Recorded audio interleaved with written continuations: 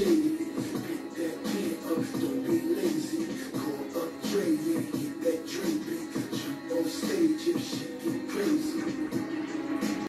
yes, guys, what's happening?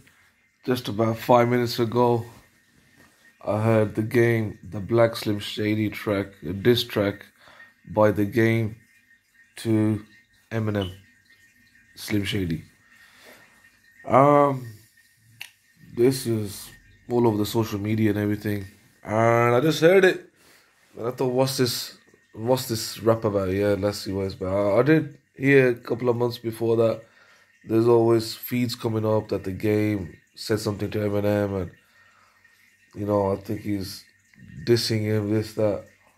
And, you know, me growing up, I'll make this video brief. Me growing up, I remember when the game was part of G Unit, and then 50 Cent, I believe he kicked Game out, and then Game, he had his own record label, and then he started making rap songs like uh, the phase was GU Not.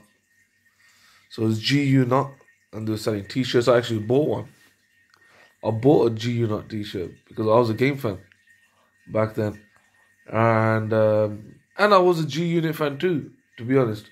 But I liked G I liked I liked games. Uh, I thought he was a lyrical genius, you know, I thought he was great at the time, you know. And uh, he's still very talented, they're all talented. Uh, 50 Cent, The Game, Eminem, they're all talented. Um, you know, there's no harm in being a fan of all. But one thing I like to say is that you know, when you know with game, this is what I personally believe game. I see a lot of jealousy in this guy, you know, because you know all he was doing in his career, yeah. Now come to think of it, he was chasing Fifty Cent. He was chasing him, right, and he's jealous of him. Look at Fifty Cent is right now, and look at where game is right now, yeah. So it's just like in boxing, you know, if you stay quiet, you're not gonna get, uh, you know, a boxing deal signed. Yeah, you gotta call out your opponent.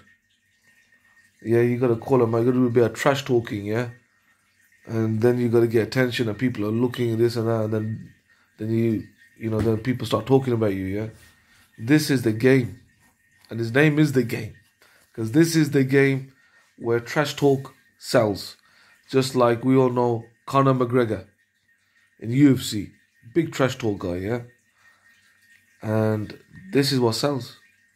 He knows how to market himself. Now, so does the game with his diss track. Now, when these guys are not young anymore, guys, these guys all got kids, they got families and stuff. And you know, nineties was a you know what, about twenty years ago, and now this guy still got something on his chest, and he goes, okay, let's do a rap this on Eminem, yeah. To be honest, for me, I find it childish right now, because even I've become a father too, family man, and it becomes boring, you know, listening to a, a, a, a maybe f- almost a fifty-year-old man. These guys must be either four, past their forties, it must be fifties, and they're dissing each other, you know. And uh, he's dissing Eminem, and, and now Eminem might have to write something back to diss him. If that does happen, then you know that this is for entertainment, yeah. This is all it is, entertainment. But it can be personal too, because if you're calling out his wife Kim, and then you're calling out his daughter Hailie, and but obviously Eminem should keep these names quiet. You know, sometimes he might have regrets now, but everything he wrote was put all his truth in there.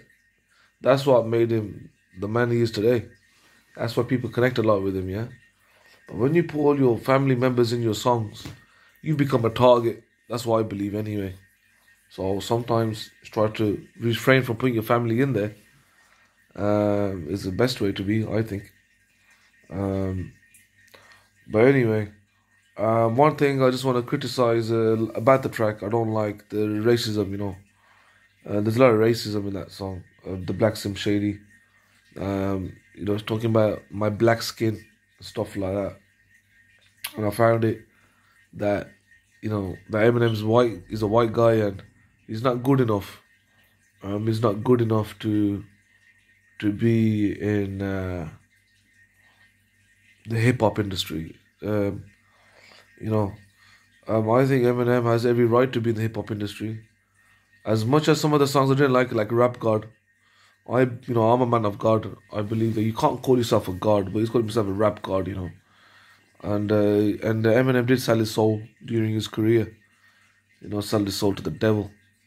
Um, you know, most of these musicians did, and it's quite dark. Eminem was, to be honest. But now he's grown up. Now he's realizing that you know what I'm. You know, he's he's changed a lot. You know, he's the recovery album He's, there's a lot of hum, there's a lot of humbleness with him now. He's changed a lot. So I, I like Eminem. I like the game too. But I didn't like this uh, Black Slim Shady track because I found it racist. I'll be straight with you. I found it racist. And I believe that there was no need for it. Because music has no color, guys. Look, I'm a I'm a brand guy, yeah.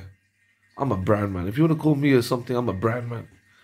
But I'm listening to I'm listening to black music. I'm listening to white music. I listen to rock and roll, right? I don't call it white music, and I and I, and I listen to hip hop, and I don't call that black music. But I listen to you know, I listen to anybody, any music, which is good to my ears. If I can pick up something from it, and if it makes me nod my head a bit, and if it takes, sometimes if it takes, makes my mood better, if I'm in the gym or if I'm cycling or if I'm doing something, you know, I love music. Music has no boundaries of color, guys. You should never limit yourself. So music is for all, and uh, I think the game needs to keep the race card out of it. To be honest, I think we're all grown up now. We all should respect one another. Okay, diss each other. Yeah, if you, if, I don't think you should, but if he's made a diss track, keep the race card out of it, please. This is my personal opinion, yeah. Like I said, I'm a brand guy. I listen to all music, and music has no boundaries, no color, yeah. This is it, guys. There's no color, there's no boundaries. Show respect for all races. All doesn't matter what race you are. You're white, you're black, you're brown, you're pink, you're blue, you're green. It does not matter, guys. And this is just dividing people. You understand? It divides people. With music like this, it divides people. So, guys, if you take anything out of this video, don't be racist.